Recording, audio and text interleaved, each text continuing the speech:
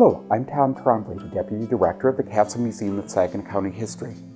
The program that follows is called A Brief History of Saginaw and is a collection of historic photographs of the community. I think you'll really enjoy it.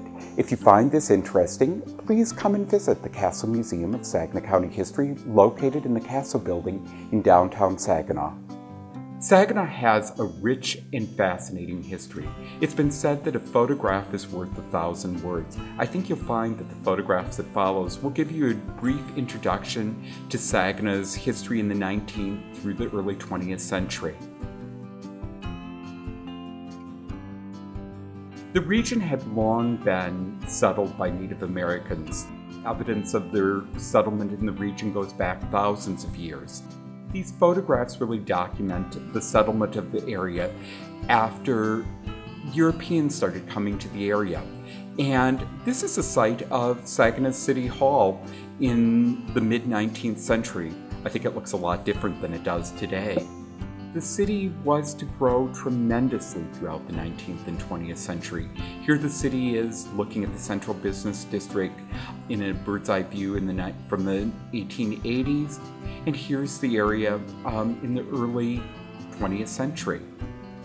And an aerial photograph of um, the business district taken in the 1920s.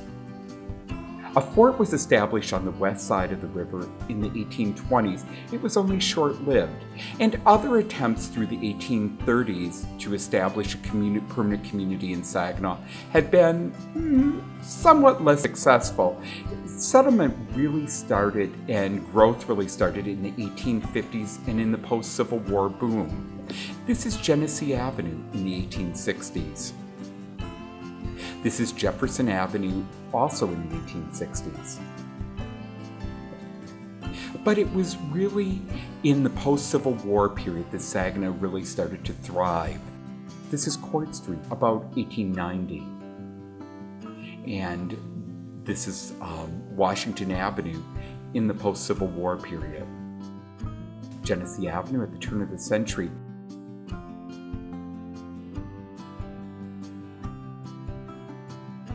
The secret behind this really um, tremendous growth in the years following the Civil War in the 1860s, 70s, and 80s was Saginaw's position on the river and its connection to the Great Pine Forest of Michigan.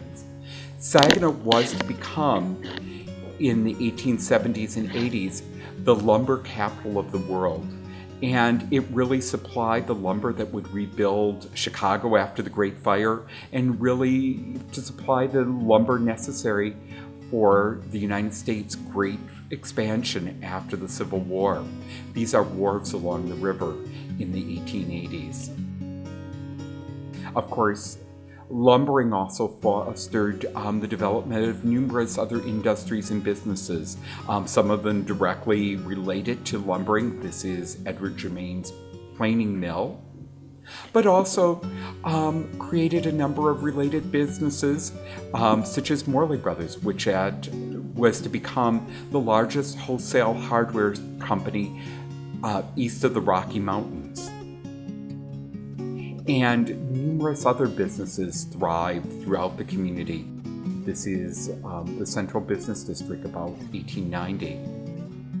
There were stores throughout the community. This is Ippel's department store on Court in Michigan about 1890. They're having a, a great sale in this photograph. And numerous other dry goods and businesses.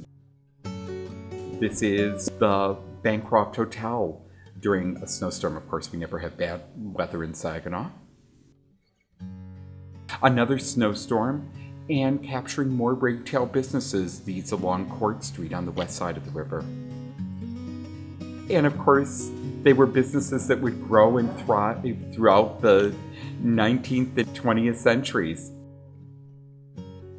The Saginaw triumphed over numerous disasters. Some of the major ones were a huge fire on May 20th, 1893.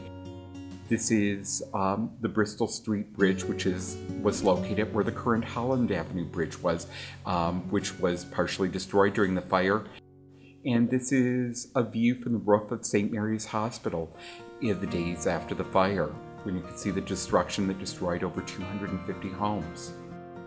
There were numerous floods in Saginaw throughout the 19th and early 20th centuries. Of course, Saginaw, much of it was a marsh that had been filled in and um, flooded frequently. This is in the 1870s, and another flood in 1912 on this shows Genesee Avenue.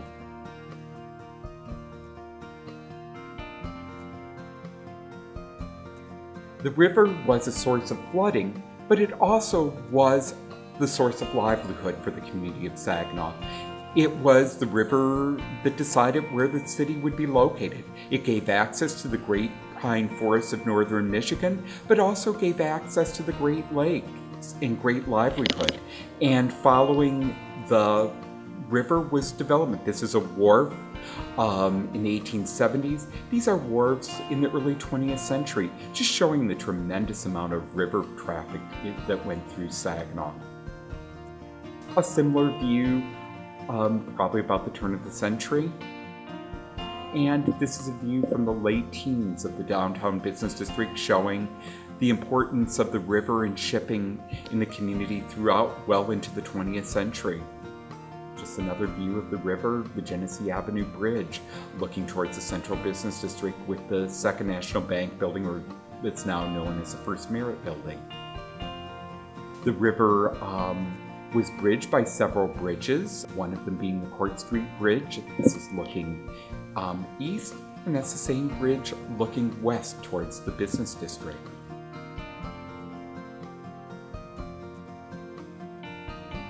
Saginaw was originally several smaller communities. The two major communities were Saginaw City and East Saginaw.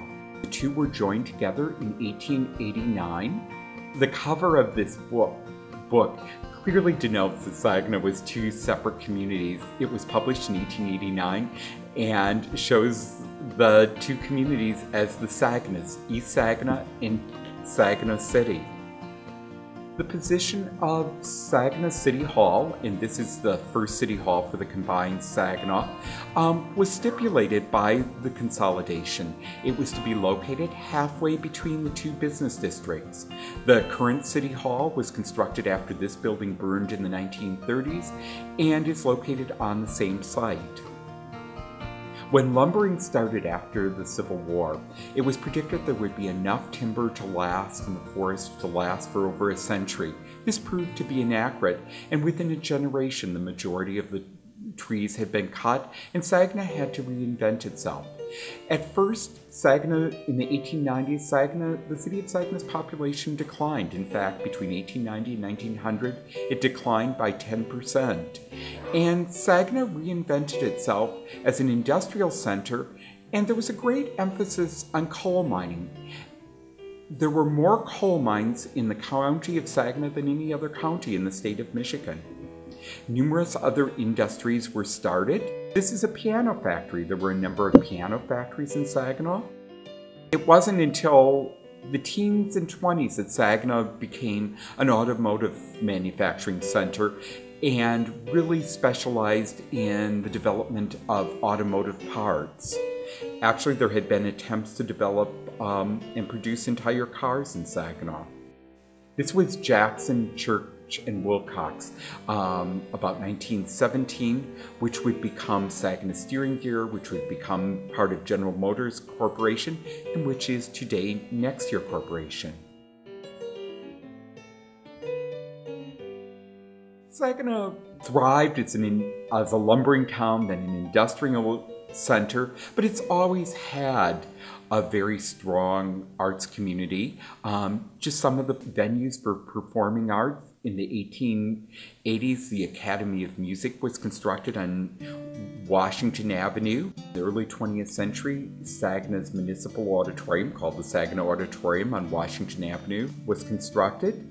Um, there were numer numerous theaters in the community. This is the Franklin Theater located on Franklin Street, which um, was a vaudeville house and became a motion picture theater. Of course, the Temple Theater, constructed in, in the 1920s, which continues today as a performing arts center. the Masonic Temple, um, which also had space for performances, located on Washington Avenue.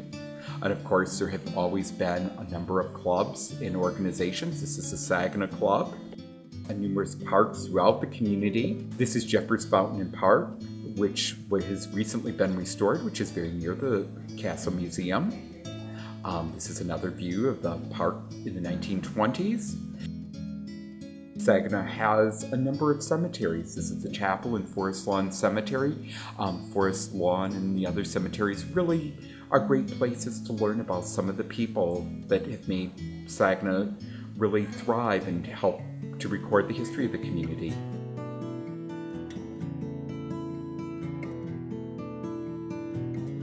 The community has grown and changed as the community has changed. And I thought I would just um, share with you just um, one location throughout time. This is Saginaw's Courthouse Square. The current governmental center is located where the courthouse has been located since the founding of the county in the 1830s. Um, this is a post-Civil War view of the courthouse. Another view of the original courthouse. A closer view of the 1838 courthouse. The 1880s courthouse and here's the 1880s courthouse um, behind the steel of the building which is on Michigan Avenue that replaced it. During this brief program, we focused on the physical development of the community. However, it's really reflective of the story of the people who have made Saginaw thrive and continue to make Saginaw thrive as a very special place.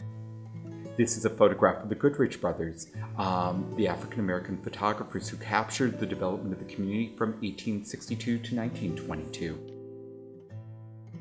People continue to shape Saginaw and make it a vibrant and special place. As you explore Saginaw, we hope you'll keep what you've seen in these historic photographs in mind and see how the layers of history are evident in Saginaw and the things that have made Saginaw the community that it is today.